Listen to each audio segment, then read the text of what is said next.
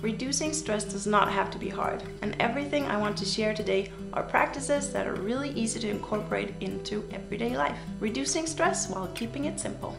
Let's dive in.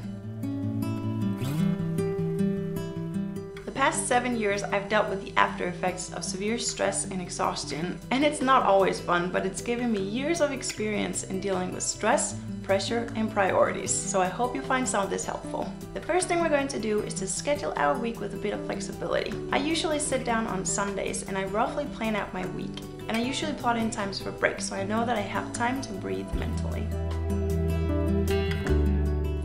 I don't particularly like is that I get tired in my head faster than regular people. So I usually schedule one hour of doing nothing every day before I pick up Max from daycare. And this is just to make sure that I have time to regain my energy before I go get him. As a family, we make sure not to overschedule our free time and weekends. We want time to just do whatever and be spontaneous. Number two is to go for walks. Get out and get some fresh air and move that body around. I actually find that when I walk, I talk out loud to myself. But if I'm stuck mentally or practically in some kind of problem, then it actually helps me to just walk around and talk it out with myself. I find that when I walk around and talk like this, it gives me a new perspective. And when I get back, I feel a lot better and I might even have solved the problem completely. So it might seem weird, but try it. Talk to yourself when you go on walks. Number three is to get things out on paper. If your head is cluttered, it helps a lot to just get it out of here and down on paper. If your head is filled with practical things, then make a to-do list. Get it out of there and make space mentally and then just get the things done. If it's more emotional thoughts that's cluttering up your mind, then journal. I'm a big journaler. I'm not even sure that's a word. I think it's a word, but I write down all my emotions, my frustrations, I just get it all out of there and I feel so much better afterwards. This is something that has really worked for me and it might work for you too. There's something therapeutic about getting things out of your head down on paper.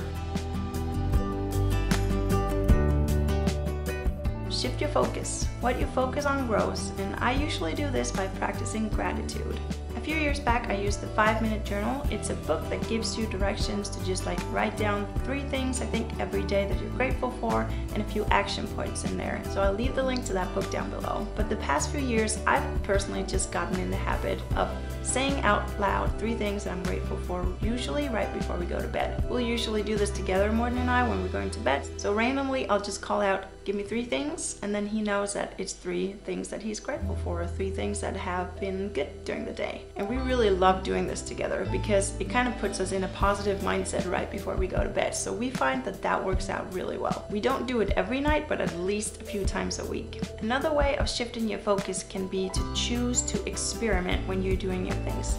I've mentioned this before in a previous video, and I find that when I apply the mindset of experimenting, it frees up a lot of the pressure because experiments they can have different outcomes. It can be A or B, but they don't fail. So I can't fail. And that just relieves a lot of pressure and it makes it easier for me to try something new. So consider applying this mentality of experimenting and see if it works out for you. Number five is meditate. Now, I'm no pro at meditating, but I've been practicing mindfulness on and off for the past years, and there's no doubt in my mind that it works. I prefer the meditations that helps me let go of thoughts and feelings and just refocusing back on the breath. The body scan meditations, which helps me relax my body and just turn my head off for a bit. I found a few short ones that I like and I'll leave the link to them in the description down below if you're interested. Another way that can really help reduce stress is to limit your input streams. The more information I fill my head with, the more I have to process. I tend to stay off the news and social media as much as possible and try to limit my use of social media to mainly Instagram and then I have the Facebook Messenger app, primarily just because it's super practical that people can reach me and I can can reach other people whose phone number I don't have. Other than that, I really try to stay off social media completely. I'm not saying be uninformed, I'm just saying be conscious of how much you ask your head to process of new information every day. Primetime news and random social media is just more data for my brain to process and it makes my stress level go up. Find a good in-depth news program that you can watch or a documentary or maybe listen to an audiobook. These are all things that will inform you on things, but it's a lot more conscious choice and you get to weed out all the clutter. Number seven is so simple and probably the practice that I use the most. It's deep breaths. Deep breaths calms my body and refocuses my mind. When I take just a few seconds to reconnect, it releases a lot of the stress in my body and in my mind. And it's so simple. I hope you found some of these practices helpful. If you have more to add, then please leave them down in the comments so we can all benefit from them. I also just want to say that if you watch my videos on a regular basis and haven't said hi yet, please do so down in the comments. I love getting to know you guys and hearing your stories as well. So please do that if you feel like it. And I'll see you guys next week. Have a great weekend. Bye!